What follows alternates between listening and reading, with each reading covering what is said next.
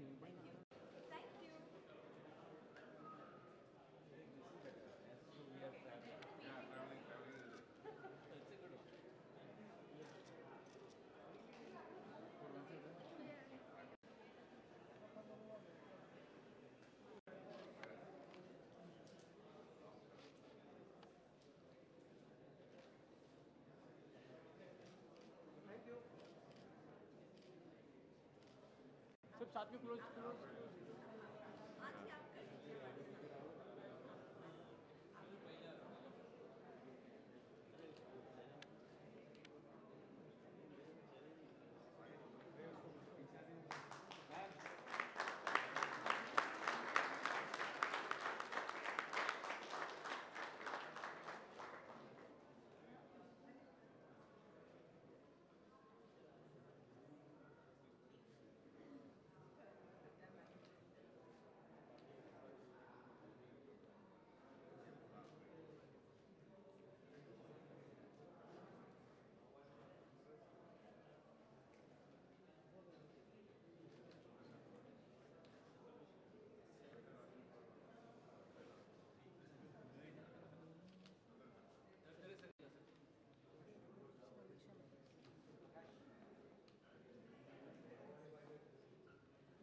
centre look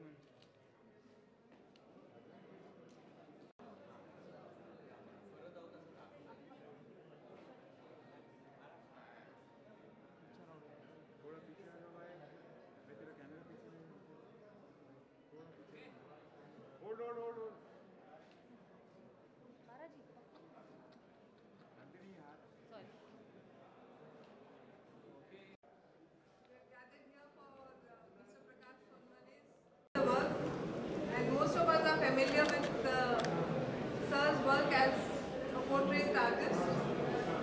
So I would urge the ones who are not familiar with uh, his uh, excellence, his depth handling of portraiture to see the setting and uh, get a masterly portrait done.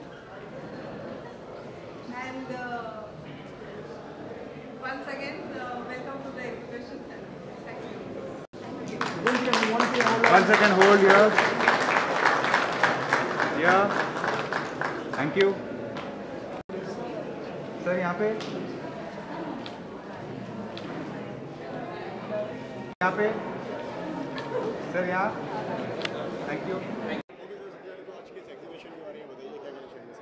नहीं नहीं, यहाँ बहुत मज़ा आया देख के, एकदम colour cool colour है और इन्होंने कलर चॉइस किया है, बहुत बढ़िया किया है और ये रियलिस्टिक वर्क है। इसमें काफ़ी एक्सपीरियंस की ज़रूरत होती है। और परफेक्शन पे ज़्यादा ध्यान दिया जाता है। ड्राइंग बहुत अच्छी होनी चाहिए तब आप ये काम कर सकते हैं। और इन्होंने जो एक एक चीज़ को डेवलप किया है ज़बरदस्त किया है। नहीं नहीं आने वाले दिन में इनका वर्क बहुत आगे जाएगा और बहुत बढ़िया फॉर्म पकड़ा है इन्होंने और एकदम यूनिक है। थोड़ा सा हटके है तो थोड़ा लोगों के नज़र में तो आएगा। थोड़ा सा नया रहता है क्रिएटर क्रिएशन रहता है तो लोग देखते हैं उस वर्क को। और भगवान करे इनका और नाम होए लोग जाने। मगर बहुत अच्छा काम लगा। हम लोग तो आर्टिस्ट लोग हैं तो हमको तो काम ही चाहिए। इनका मतलब वर्क ही पहचान होता है आर्टिस्ट का। तो इन्होंने काम बहुत अच्छा किया।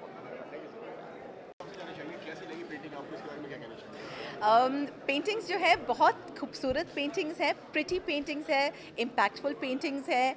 उनकी कहानियाँ जो वो बताते हैं, बहुत ही मज़ेदार है। रियलिटी में ग्राउंडेड पेंटिंग्स में एक सरियालिट एक सरियल टोन्स है। स्पेसशिप्स नज़र आते हैं स्पाइडरमैन नज़र आ रहा है, डब्बे वाले नज़र आ रहे हैं ट्रेन पे खड़े हुए सफ- सफारी करने वाले लोग नज़र आ रहे हैं।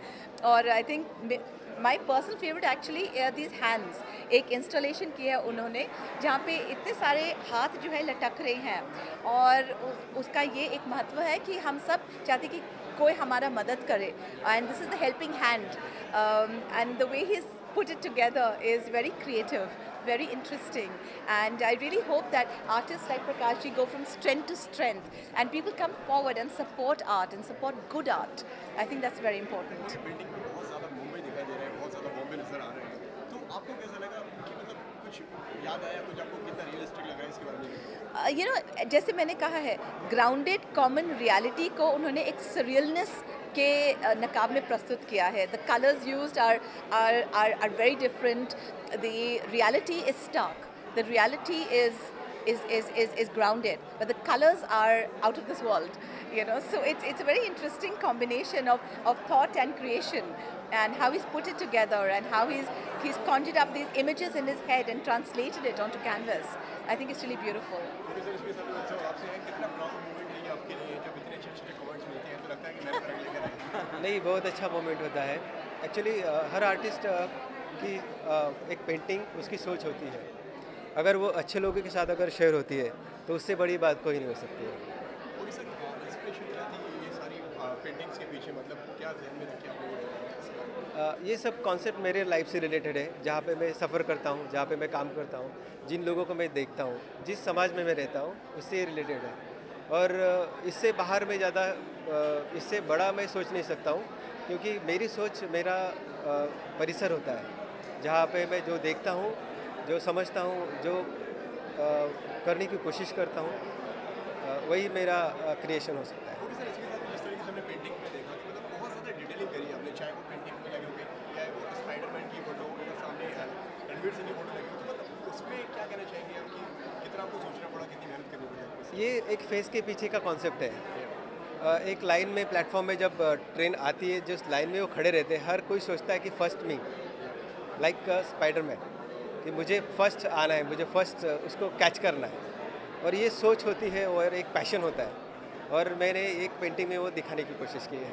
उसके साथ एक स्ट्रगल होता है कि लाइक इतना भीड़ होता है कि इट्स लाइक अ बर्गर फिर भी लोगों को डोर पे लगता है कि ये मुझे बहुत सुकून भरा होता है। ये मुझे इट्स लाइक ये आराम का मामला है। नहीं, हमारे लिए तो किसी भी कलाकार ने अगर ज़िंदगी की सच्चाइयों को रोशन किया, रंगों द्वारा तो हमें वैसे ही अच्छा लगता है। और जब वो ज़िंदगी से जूझते हुए लोगों के बारे में होता है तो हमें और अच्छा लगता है, क्योंकि चित्रकारी द्वारा जो आप संकेत रूप से दिखा सकते हैं, वो बोल के, लिख के, सुना के भी नहीं बता सकते। लेकिन चित्रकारी एक ऐसा माध्यम है जिससे आप बहुत ही सही रूप से अपना वाक्य प्रयोग न उपयोग करके ये बात आप रख सकते हैं। जो बात इन्होंने बहुत बढ़िया तरीके से रखी है। लोगों को जागरूक किया है कि हम ऐसे हैं, हम ऐसे ही रहेंगे, हम जीते रहेंगे। हमें कुछ करना चाहिए ताकि हम इसके बारे में कुछ ज़्यादा सोचें। तो ये पेंटिंग हमें इस बात से जागृत करती है कि हमें इससे हट के कुछ करना चाहिए कुछ और करना चाहिए डब्बे वालों के लिए कुछ सोचना चाहिए। ये ट्रेन में जो लोग सफ़र करते हैं ऐसे न सफ़र करके किसी अच्छी तरीके से सफ़र करना चाहिए। और जीती जागती तस्वीरें उन्होंने जागृत की है लोगों को समझा समझने के लिए। ओके सर इसके सामने आप क्या कहना चाहेंगे? Thank you. आ, इससे बेटर नेम नहीं हो सकता तो जो आपने रखा है ड्रीम वीवर्स और आपके ऑब्जर्वेशन की दाद देनी पड़ेगी। आपने जो ट्रैवल करते हो ये सब ऑब्ज़र्व किया है और उसी रियलिज्म को आपने अपने पेंटिंग्स में लेके आए हैं। एंड uh, जैसे आज पता चला आपके पिताजी भी पेंटर रहे हैं और uh, आज वो नहीं है हमारे साथ लेकिन he be super proud of you today I think all the best okay personally अगर आपकी अगर बात करें तो आपको पेंटिंग करना कितनी पसंद है और आप कितनी अच्छी मैं पेंटिंग की शौकीन बहुत हूँ। मेरे घर में बहुत सारे आर्टिस्ट के पेंटिंग्स हैं। And I think the ones which are closest to my heart वो है जो मेरी बेटी ने बनाई है। वो भी एक बहुत ही टैलेंटेड आर्टिस्ट है she is one the Kala Bharati national award for art and she is only twenty one years old but she is Passionate about art and and and just creation her medium में वो experiment करती रहती है and you know I love also माँ हो होने नाते I love her art the most but I have to say I am I'm always bowled over whenever I go to an exhibition about how differently every artist can take the same theme perhaps and interpret it so differently. And um, you know, as I said, my home is filled with art and every kind of artist. बिल्कुल सबसे important memory ये है कि जब मैंने अपना पहला paycheque जो है प्राप्त किया, उस वक्त मैंने सोचा मैं जाके एक स्टीरियो सिस्टम खरीदूँगी या एक टेलीविज़न सेट खरीदूँगी क्योंकि घर पे उस वक्त नहीं था। तो मम्मी ने कहा, बिल्कुल नहीं, आप आर्ट में इन्वेस्ट करने वाले हो। तो मैंने कहा, क्यों मम्मा? किसी ने कुछ पेंट लेके कुछ कैनवस पे किया, मैं इतना सारा मेरा हार्ड अर्न मनी को क्यों उस पर खर्च करूँ? मम्मी ने कहा no you will learn the importance of investment she brought me to this very gallery and she took me upstairs. Kiku Gandhi was there, and she made me buy a painting. She said, "You choose any painting that you want." So I chose Ambadas at that point of time. I remember I paid 17,000 rupees for an Ambadas painting, and I thought, "Oh God!" But it is still hanging in my living room today, and it's the best memory I have of how important it is to appreciate art and how important it is to invest your money wisely. Okay, thank you. Sure.